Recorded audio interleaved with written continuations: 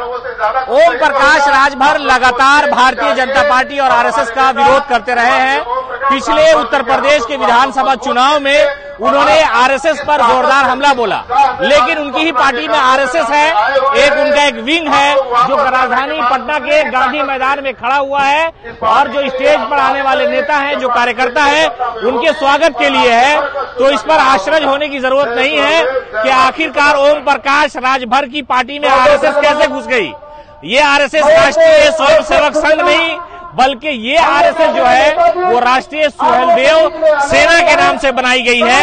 आप देख सकते हैं कि उनके जो कार्यकर्ता आते हैं, नेता आते हैं, उनके लिए एक तरह से इन लोगों ने टी शर्ट पर आरएसएस बिल्कुल स्पष्ट बड़े शब्दों में लिखा है और हाथ में लाठी डंडा भी है इसी गांधी मैदान में राजधानी पटना के लालू प्रसाद यादव ने लाठी में तेल पिलावन रैली किया था लेकिन आज जो है ओम प्रकाश राजभर यहाँ पहुँचे हैं ये आरएसएस आप लोग की पार्टी में कैसे आ गया देखिए माननीय नेताजी जो आज तक हम लोगों के ओबीसी कास्ट के और पिछड़े पिछड़े कास्ट के लोग हैं जो कि आरक्षण हम लोगों को नहीं मिला है जो भागीदारी नहीं मिले नौकरियों में उसके माध्यम से माननीय नेताजी ने हम लोगों का आरएसएस तैयार किया। और हम लोगों ने हम लोग पढ़ते भी हैं पार्ट टाइम में माननीय नेताजी के हाथों को मज़बूत भी करते। हैं हम लोग जनपद चंदौली से आए हैं उत्तर प्रदेश मेरा नाम आनंद राजभर है मैं राष्ट्रीय सुहेलदेव सेना का जिला कमांडर हूँ जनपद चंदौली।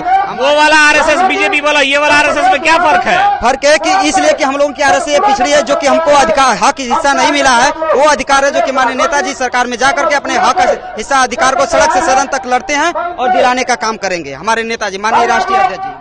यहाँ पर आरएसएस लिखा है और यहाँ पर राजभर महाराजा सुलदेव की आपने तस्वीर लगाई है। ये आरएसएस का विरोध हमेशा से ओम प्रकाश राजभर करते रहे हैं। यूपी चुनाव में उन्होंने आरएसएस को बहुत बुरा वाला कहा। तो ये आप वाला आरएसएस अच्छा है कि वो वाला अच्छा है? हमारा क्या काम करते हैं आप? इस इसमें क्या करना होता है? इस आरएसएस का कौन सा काम है? आप बताइए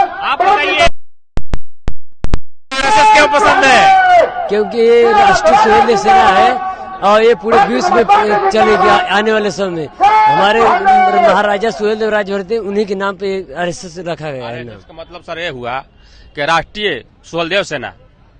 आमतौर से लोग आरएसएस का मतलब राष्ट्रीय स्वयं सेवक संघ समझते हैं। तो वो वो स्वयं संघ नहीं है ये राष्ट्रीय सुहलदेव सेना ही है। अच्छा। आ, इस इसी से हम लोग पार्टी से विलय करते हैं। हम लोग के माननीय ओम प्रकाश राजभर जी जो है जो गरीब आदमी के हक के लिए अपना मंत्री पद छोड़ दिए थे। आज भी हम लोग का हक दिलाने के लिए एड़ी चोटी एक किए हैं और हम लोग उसके साथ हैं उनका हाथ मज़बूत करने के लिए हम लोग सब आदमी खड़े उतरे हैं। लाठी लेके क्यों? इतनी मोटी लाठी ओम प्रकाश राजभर की हिफाजत में है पार्टी के कार्यकर्ता नेता की हिफाजत में है। इस लाठी से किसको डरा रहे हैं? सर डरा नहीं रहे हैं सर रखवाली के लिए सर कर रहे हैं। पहचान। पत्र छड़ी है।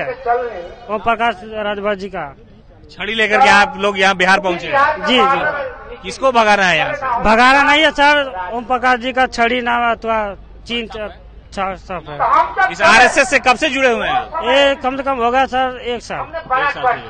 तो जहाँ जहाँ रैली होती है वहाँ वहाँ आप लोग इस तरह से लोगों की सुरक्षा करते हैं। हाँ सर क्या इसके लिए आप लोगों को ट्रेनिंग भी दी जाती है। अभी नहीं। ट्रेनिंग होती है। जाती है। जी दादी कार्यालय पर होती है आप देख सकते हैं कि ये जो आरएसएस की जो पूरी टीम है वो खड़ी हुई है ओम प्रकाश राजभर के लिए और सबके हाथों में मोटा मोटा डंडा है लाठी है। इस पर सुहलदेव सेना लिखा हुआ है। यानी वो आरएसएस जिस आरएसएस की बात ओम प्रकाश राजभर हमेशा करते हैं वो बताते हैं कि देश के लिए वो उन लोगों ने क्या किया क्या योगदान है। लेकिन अपना ये आरएसएस बहुत मूड में हो जी क्या बात? कैसे ये वाला आरएसएस ठीक है। एकदम बढ़िया। एक तो और आरएसएस है बीजेपी वाला। नहीं तो वो हमसे उससे हमसे कोई मतलब नहीं है। हम हम अपने नेताजी के सुरक्षा के लिए हमेशा खड़े रहते हैं कि कोई अभरता से व्यवहार न करें। हाँ इसलिए हम अपने नेता को सुरक्षित एकदम मंच तक पहुँचाते हैं।